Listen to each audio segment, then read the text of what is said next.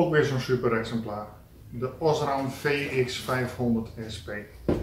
50 centimeter lang. Hoe breed is 50 centimeter? Precies de breedte van de nummerplaat. Geeft even een beeld van waar die zou kunnen.